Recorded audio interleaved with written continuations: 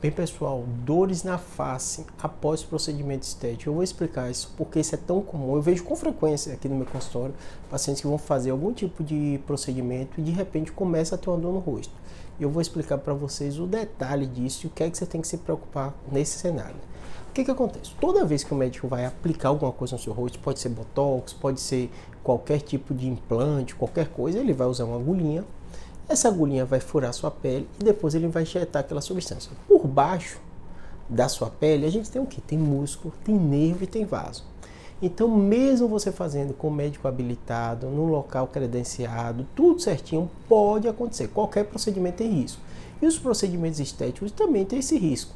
De nisso que o médico coloca agulha, essa agulha causa um trauma no seu nervo. Porque a gente tem as inervações, tem nervos grandes, mas tem nervos às vezes fininhos que passam por diversos locais e a agulha pode causar um trauma nesse nervo. E a gente vê com frequência pacientes que justamente após o procedimento, e aí pode ser por causa da agulha que traumatizou, por causa da substância que comprimiu, e o paciente começa a ter uma dor. Uma dor típica de nevralgia, nevralgia do trigêmeo. É aquela dor que você tem um estímulo tátil, toca, dói, é uma dor intensa, é uma dor forte. Às vezes você vai comer, às vezes você vai mastigar, às vezes o ar gelado acontece, com, passa no rosto, aquilo te incomoda. Às vezes você vai ter uma sensação tátil, só tocar o rosto, dá o choque também. Então é frequente isso a gente vê após um procedimento estético. Ah, Júlio, é frequente porque acontece com frequência? Não. É frequente porque eu sou especialista e chegam para mim como esse. Na grande maioria das vezes, o que, é que a gente vai fazer? Número um, vez for um trauma superficial, não teve nenhuma lesão profunda, na maioria das vezes são superficiais, porque eles infiltram superficialmente, né? Ver se o paciente tem algum outro tipo de lesão, uma lesão traumática, uma fratura, se tem outras doenças que poderiam ocasionar isso, então normalmente você vai pedir exame de imagem. Né? É raro ter uma coincidência, né? logo após um procedimento você sentir dor, mas medicina é matemática, então você tem que fazer o exame de imagem até para ver se essa agulha ou teve algum outro trauma. Né? Geralmente a gente pede uma ressonância para ver isso em detalhe. Né? E quando a gente vai fazer ressonância, vai ver essa parte do rosto, mas também vamos ver se tem alguns outros tipos de lesões profundas, como eu falei para vocês. Né? Na grande maioria das vezes, sendo o trauma do procedimento, isso vai melhorar. Melhorar como, Júlio? Com o tempo.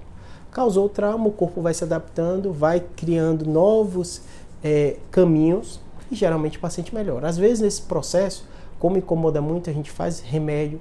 Eu tenho um vídeo aqui falando né, sobre pregabalina, carbamazepina, oxcarbamazepina para dor neuropática, é o tipo de dor que esse paciente tem após esse trauma. Às vezes você precisa de exames mais específicos, né?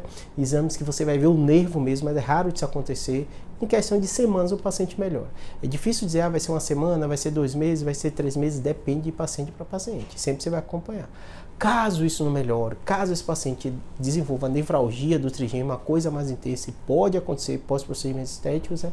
você vai ter que fazer o tratamento igual a nevralgia do trigêmeo. Tem muito vídeo aqui explicando sobre as infiltrações, sobre os bloqueios que a gente faz nesse nervo, né?